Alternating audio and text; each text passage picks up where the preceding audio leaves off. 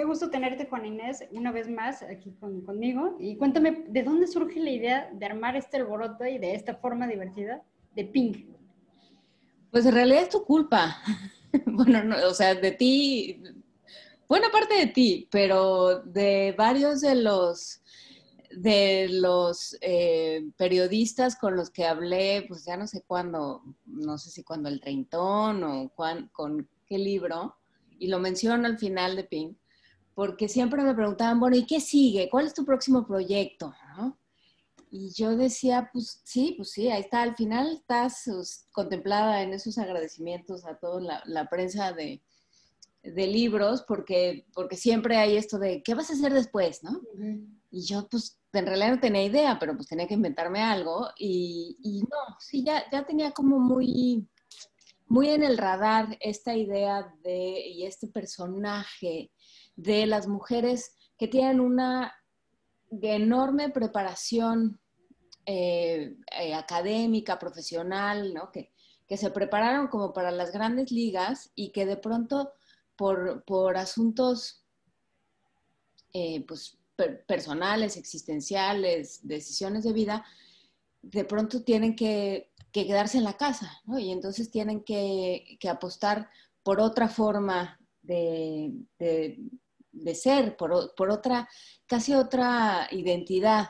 Y bueno, ¿y eso qué pasa? ¿no? O sea, ¿cómo, cómo hacen ese ajuste, esa energía del trabajo, de, em, de cumplir, de, de, ir logrando cosas y metas y, y tal? ¿Cómo se traduce a, a una vida doméstica? ¿A dónde se va toda esa energía? Y esa fue, digamos, mi respuesta a, esta, a esa pregunta fue justamente el personaje de Susana. Y bueno, pues cuando la iba creando a Susana, fueron pasando todas esas cosas que, que terminaron convertidas en Pink. Pero de ahí fue. Ajá, cuéntame, eh, cuando publicas este libro en marzo, que no tiene nada que... Algo tiene que casualmente con el mes de marzo, ¿no? La lucha de esa igualdad. ¿Tú ya lo tenías planeado o se dio así? No, bueno, de entrada se tardó muchísimo, me tardé muchísimo en, terminarlo. Tiene muchísimas em, variantes, cosas que comencé a trabajar y que al final se quedaron a la mitad, este, tramas que exploré, pero que nunca fructificaron. Y hacia el final del proyecto, ya eh, como hacia finales de 2019, de pronto dije, a mí me interesa que el centro, digamos, el, eje en torno al cual gravite toda la, novela sea la elección de Andrés Manuel López Obrador y lo que eso generó en el país y sobre todo como en, las familias de México. Creo que fue un, un eh, parteaguas, pero más como de una placa tectónica que se movió y que de pronto dejó ver todo aquello que tenemos desacomodado, digamos, todas esas este, estructuras que no tenemos bien, bien firmes, ¿no? Y creo que, eh, y, de ahí eh, empezó a salir. Claro, cuando yo lo entrego, yo lo entregué hace casi un año. Y bueno, pues la pandemia, este, pues las editoriales tuvieron que empezar a, reconstruir qué iban a hacer, a, a repensar sus planes editoriales. Y me dijeron, pues sale en marzo. me dije, ah, bueno, ¿no? Pero claro, cuando yo empecé a ver 28 de febrero, primero de marzo y empecé a ver lo que venía, dije, claro, van a pensar que me trepé a la ola. Pero en realidad no, es que es muy difícil hablar de coincidencias cuando, cuando todo son causas, ¿no? cuando todo está ahí. No hay coincidencias. O sea, que, que las mujeres estemos en este momento, y como se lo dije a alguna de las, de las chicas de Guerrero, o sea, se les está olvidando que existen las mujeres de clase media y no les están hablando a ellas. Y ahí están, y están sufriendo en, sus, en sus maneras y en sus eh, escalas, pero también sufren abuso y también sufren este, abandono y violencia y, y una serie, de, o sea, no, no es no sé si puedas, eh, supongo que sí se puede, pero, pero vamos, no es que digas hay una violencia mejor que la otra, ¿no? Hay una violencia que deja menos marcas en el cuerpo, desde luego, ¿no? Hay una violencia que no implica golpes ni ministerios públicos, pero hay diferentes tipos de violencia y diferentes gradaciones, pero son violencias, ¿no? Entonces, eh, creo que encajó en esta en este discurso de puede que no estemos reconociendo las desigualdades de muchos tipos y las violencias de muchos tipos, pero ahí están. Eh, háblame un poco de cómo creaste el personaje Susana, porque es muy divertida, pero está en todo, como asesora política, dices, ¿en quién te inspiraste del, de la política mexicana? No quiero decir nombres, pero ¿en quién te inspiraste? ¿O tú lo creaste, te lo imaginaste? Pues yo me lo imaginé a fuerza de, o sea, es una, es una disciplina que a mí me divierte y que me interesa mucho. Este, no es la mía, desde luego que no, pero, pero, pero bueno, pues son una especie entre encantadores de serpientes, este,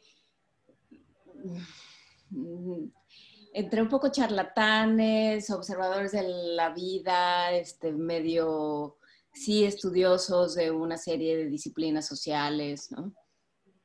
Este, pero, pero me interesaba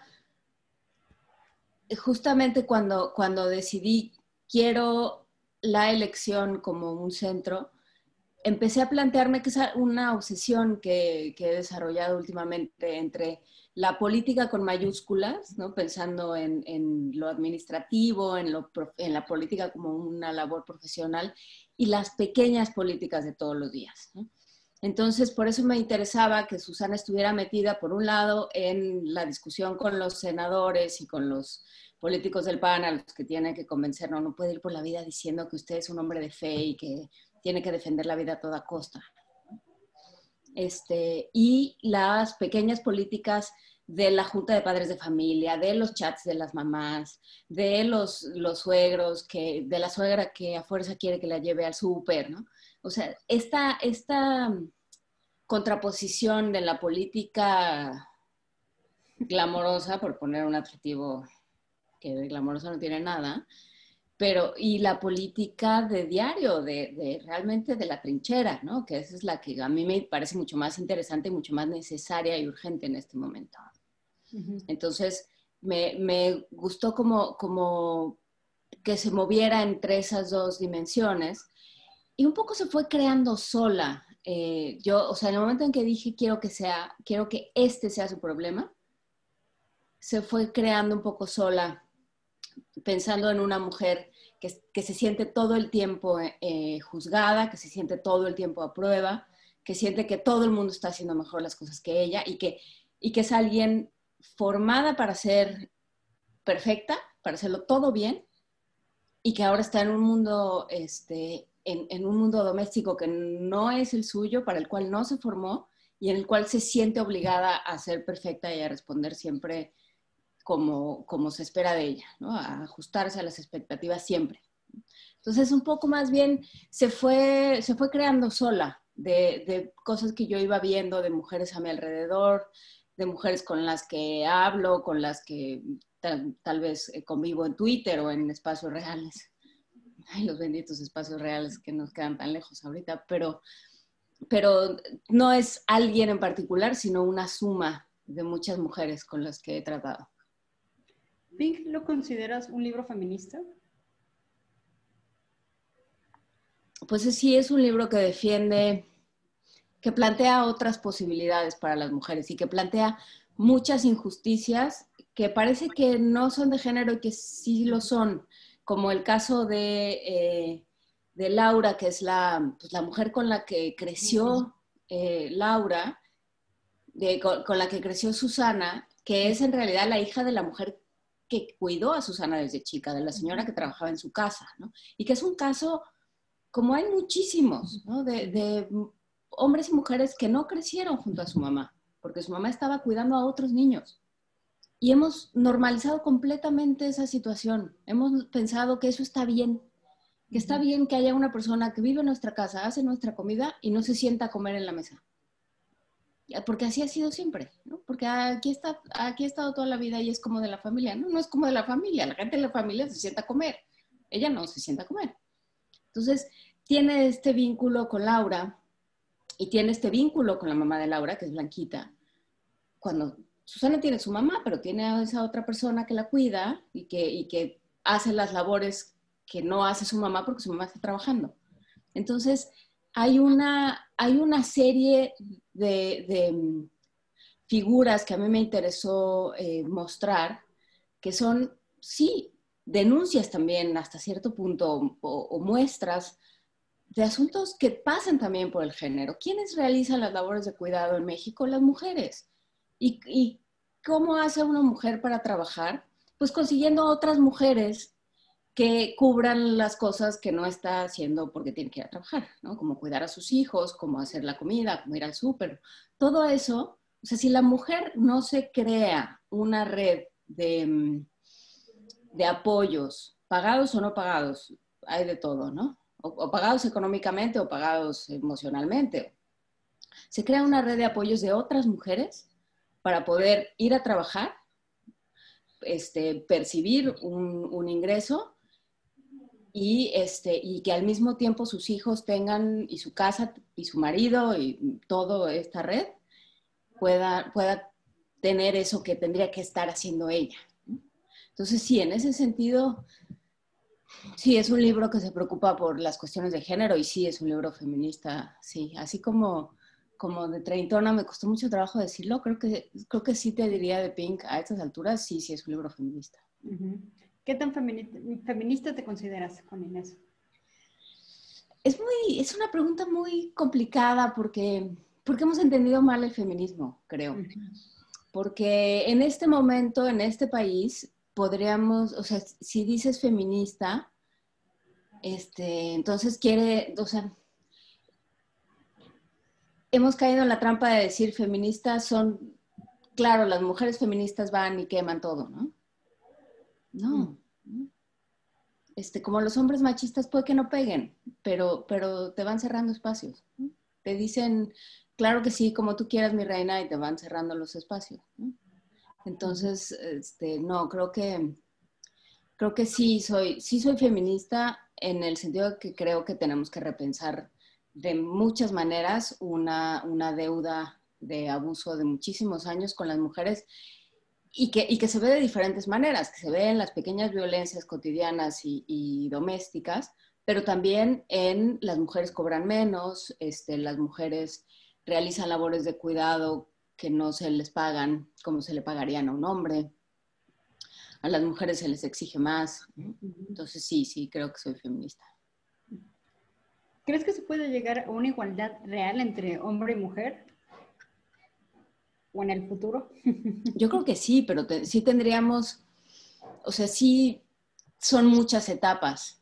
Este, sí creo que tenemos que ir, que, que, lo que sigue, por, por, cómo lo han llevado otras sociedades, es una especie como de hipercorrección, ¿no? Como, como si fuera un péndulo y entonces tenemos que regresar el péndulo a jalones hacia el otro lado, ¿no? Para, para que más o menos se pueda ir eh, ubicando en un centro.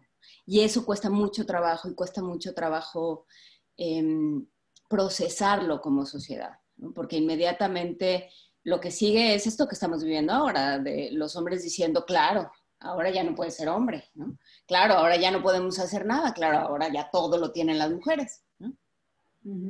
Y bueno, como me decía un día un hombre, es que, ay, ya, déjenos hacer algo a nosotros. Ay, sí, pobre. Entonces, creo que, creo que va a tomar muchísimo tiempo, pero, o sea, pero justo lo que yo quise hacer con Pink, que me parece, o sea, soy consciente de que es un poco tramposo, pero, pero aún así lo hice, que es una especie como de, como de diorama, como de casita de muñecas, de, ay, así, así es como funcionan las familias felices, ¿no?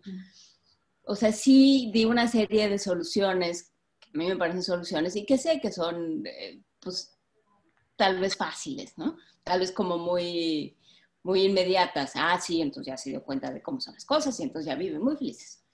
Pero, pero bueno, también quería darles, siempre quiero darles a mis personajes alguna salida. y siempre quiero que les vaya bien a todos, me caen bien, pero, pero también creo que sí se puede, o sea, creo que sí hay que tener muchas conversaciones muy pequeñas, o sea, sí creo que estamos en un momento en el que lo único que nos puede ir ayudando a sanar es las pequeñas conversaciones y las pequeñas, este, los pequeños encuentros que podamos tener, ¿no? O sea, nada va a arreglarse ni en Palacio Nacional, ni en las urnas, ni, ni en los grandes este, movimientos. Todo va a tener que ser a partir de pequeños movimientos, de, de, dos personas, de dos personas que viven en la misma casa y que tal vez a estas alturas de la pandemia ya se odian, de dos personas que viven en el mismo edificio, que viven en la misma calle, que se ven todo el tiempo. Y también hay que encontrar lugares donde vernos, ¿no? Una vez que terminemos esto, también tenemos que pensar, ahorita estamos en, en, encerrados en pandemia, pero en general la Ciudad de México no ofrece espacios para que nos encontremos con el otro, y mucho menos si el otro es alguien que no se parece a nosotros. Si es alguien cuya condición social, económica, eh, política, eh, intelectual no es similar a la nuestra. La, Ciudad de México nos ha permitido, y eso hay un momento, hay una escena en la que Susana entra a un, restaurante y le dicen, sí, siéntese, siéntese aquí en la terraza. Dice, la terraza es la banqueta y a dos metros hay una señora sentada en la calle vendiendo muñecas. ¿Cómo me voy a sentar ahí? Que es lo que yo siempre he pensado, o sea, ¿por qué voy a querer o sea, ¿por qué me voy a querer sentar a, poner de manifiesto mi desigualdad, ¿no? A poner de manifiesto mi privilegio. Entonces, e ir encontrando espacios que las verdaderas democracias liberales las encuentran en, los, en las bibliotecas, en los parques, en los jardines, en los espacios comunes, partiendo del punto de de todos. Y, y, es para todos, no importa de dónde vengas ni cómo te apellides. ¿no? Esos espacios los tenemos que ir construyendo porque no se nos van a dar. Es mucho más fácil tener un, país eh, dividido y peleado y, al cual le puedas decir tú los buenos, tú los malos y, se callan todos, ¿no? Este, es, mucho más, es mucho más interesante como ciudadanos ir construyendo e ir encontrando esos y ir exigiendo esos espacios comunes. Entonces, ya no sé cuál era tu pregunta, pero ya te digo una respuesta muy larga. ¿En qué etapa de tu vida escribes este, este libro Pink? En una etapa muy militante, em, muy militante pensando en este, este país no puede seguir así, digamos. El, hecho de que yo haya decidido construir la novela centrándome en, una elección que nos dividió tanto y que nos enfrentó tanto, o sea, vamos, no, no, no culpo la elección, creo que lo que hizo justamente fue eh, como, como subirle el fuego a una olla que ya estaba, que ya estaba caliente. Entonces, lo que ha empezado a pasar es que surgen todas las broncas y todas las desigualdades y surgen siglos de agravios. Entonces, yo escribo en un momento en el que, en el que mi, mi grito de, de, alarma es, no nos vamos a sentar, bonita clase media mexicana, vamos a seguir llorando que se fue don Porfirio y no nos vamos a sentar a, este, a decir qué hicimos mal, que, que tuvimos este voto de venganza.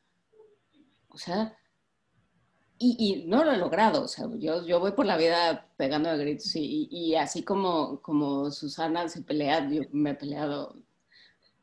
O sea, cuando me escriben mis familiares y me dicen, ay, cómo me divertí, me gustó tu libro, digo, bueno, pero, pero sí hemos tenido esta misma conversación millones de veces. Este, pero, pero sí escribo en un momento en el que, en el que digo a alguien, o sea, por lo menos si viene de, de alguien igual de blanco y privilegiado que ellos, tal vez algo pueda pasar. Pero no es que yo quiera explicarle nada a nadie, era que a mí me interesaba contar esa historia y que finalmente me divertí mucho eh, contándola y pensándola. Y creo que ahí hay cosas que a mí me interesan y que a mí me llaman la atención de la, de la clase media mexicana y probablemente, me imagino que, alguien más también, ¿no? ¿Percibes, la vida más cruda que esperanzadora? Bueno, es un momento, un poco salvaje de la humanidad, pero eh, depende del, momento. Eh, en general, este, así como, como hay mensajes de este, lo perdimos todo y el país va a perecer para siempre, pues creo que llevamos oyendo, quienes nacimos en finales de los 70, eh, pues llevamos oyendo eso desde que nacimos. O sea, nacimos con todas las crisis y luego llegaron más crisis y luego llegó el error de diciembre, luego Salinas y luego, bueno, antes, antes Salinas y luego el error de diciembre y antes los zapatistas. O sea, ha sido una crisis perpetua. En ese sentido, creo que, pues a mí sí me parece interesante y emocionante pensar, hay muchas cosas que hacer, ¿no? Hay muchas cosas que reconstruir. Nuestra industria editorial, pues no va a salir bien de la pandemia. No estaba bien, no va a salir bien de la pandemia. Pues habrá que ver qué hacemos. Habrá que ver qué hacemos con un país sin, sin este, infraestructura cultural país que tenía una infraestructura cultural malona y que decidió a partir de 2018 que, que a ver cómo hacíamos los creadores para, para sobrevivir, porque no se iban a preocupar por nosotros. Entonces, habrá que ir encontrando maneras de, de, oponerse, habrá que ir formando una oposición que sirva de algo, no, no, no lo que ahora se conoce como oposición. Y creo que esa parte es interesante. Creo que hay ejemplos en el mundo que dicen es cosa de ir casa por casa y barrio por barrio y se pueden conseguir cosas. Pero, pero no, en Twitter y, todos gritándole a los mismos tres que ya, que ya están convencidos, no se va a lograr nada. Pero sí, es esperanzadora, creo. ¿Qué fragmento te costó más trabajo escribir de este libro Pink? Y muchas vueltas, muchas vueltas. Hubo un momento,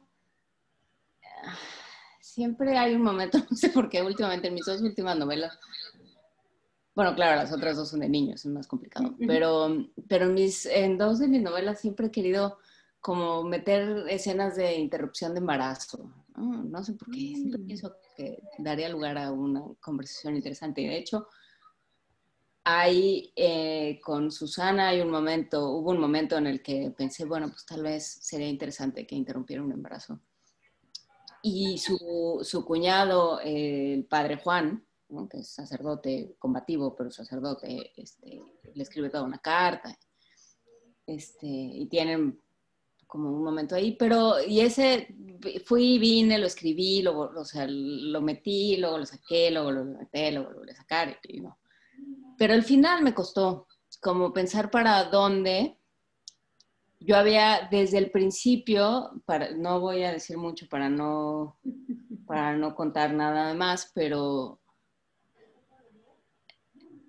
pero sí, desde el principio la, la figura esta simbólica, el monstruo simbólico de la camioneta de Susana, que siempre está dando lata.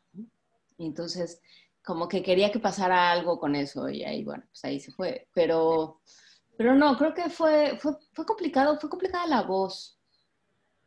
Este, no sabía bien a bien desde dónde quería contar hasta que, hasta que me, hasta que decidí tomar las preguntas de los hijos de Susana, que son unos gemelos de tres años, un niño y una niña, eh, tomar preguntas de ellos para que desataran una serie de reflexiones en, tercera persona de, Susana.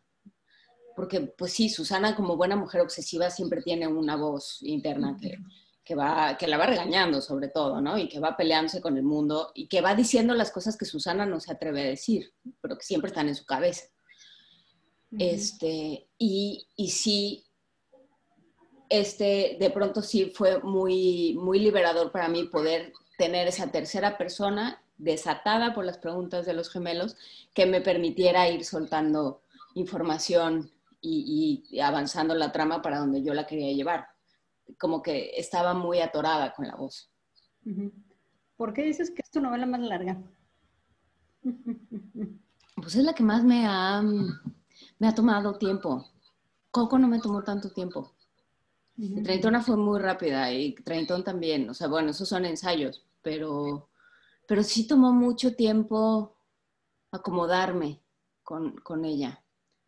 Tal vez Rebel Doll me tomó, pero no creo que tanto tiempo. O sea, sí me tardé mucho. Sí, además es que como que iba, iban pasando muchas cosas en mi vida y entonces yo sabía que tenía que, entregar esa novela algún día, pero y, ya la habían contratado, ya tenía tiempos de entrega desde quién sabe cuándo, pero no acababa de entender qué era lo que yo quería hacer con esa novela. Y, cuando entendí, eso es lo que yo quiero decir y esta es, eh, esto es lo que yo quiero que se vea en esa novela, ya, como que ya lo puedo soltar. ¿Qué narrativas se están creando a raíz de la pandemia?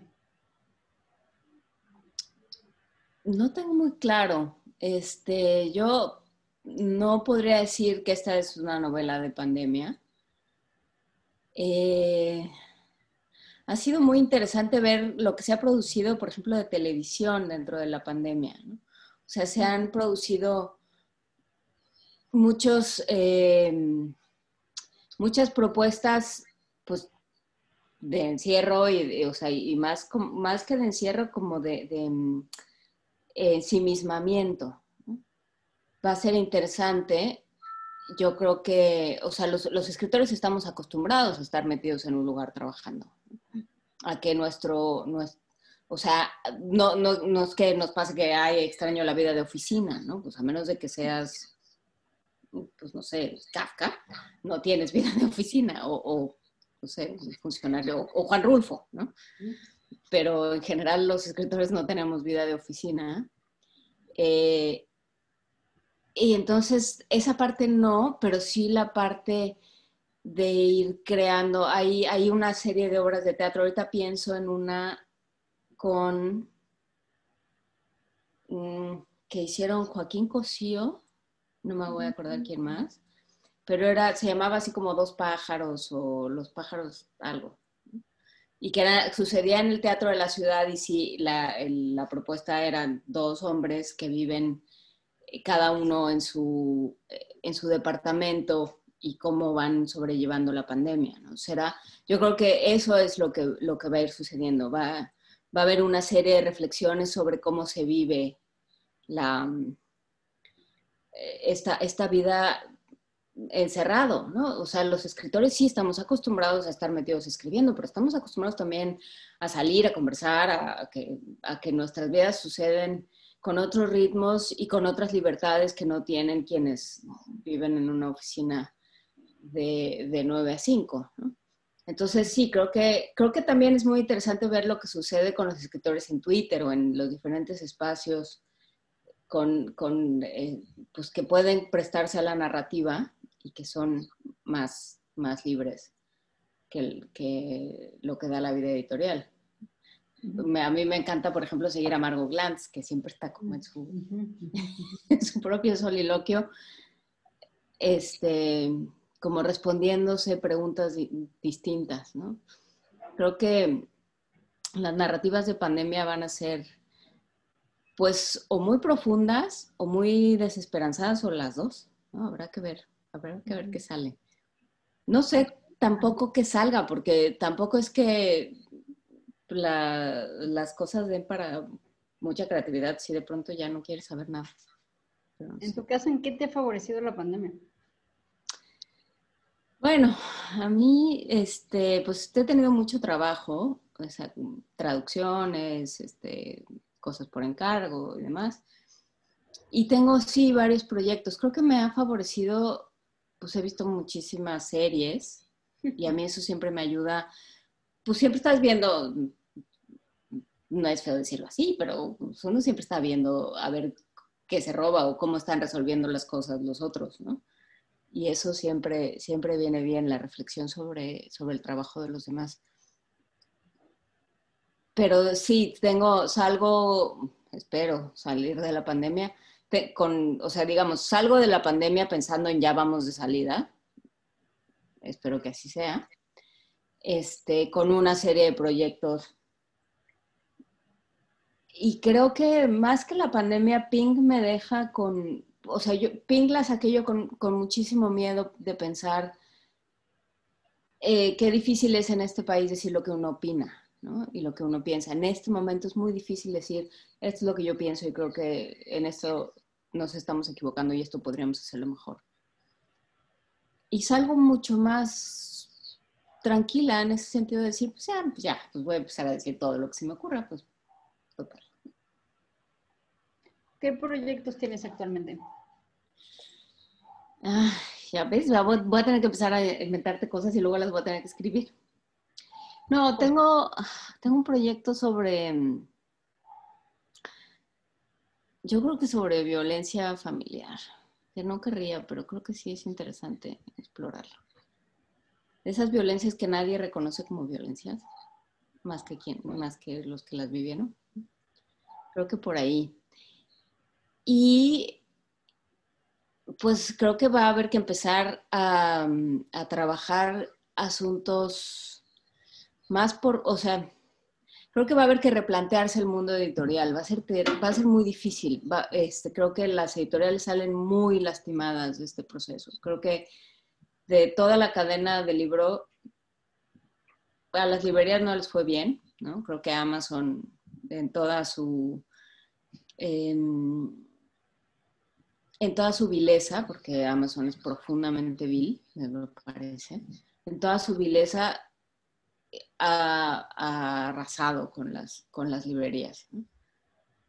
Pero las editoriales se lo están viendo particularmente difícil. Entonces, creo que va a haber que hacer un esfuerzo muy, muy consciente, muy colectivo de, rescatar las industrias culturales y las diferentes eh, partes de las industrias culturales. El teatro, bueno, está lastimadísimo. Muchísimas gracias, Juan Inés, una vez más. No, pues gracias a ti, gracias a ti como siempre, cuídate mucho. No, pues ¿Todo, va, ¿Todo va bien? ¿Todos, ¿Todos los tuyos bien y así?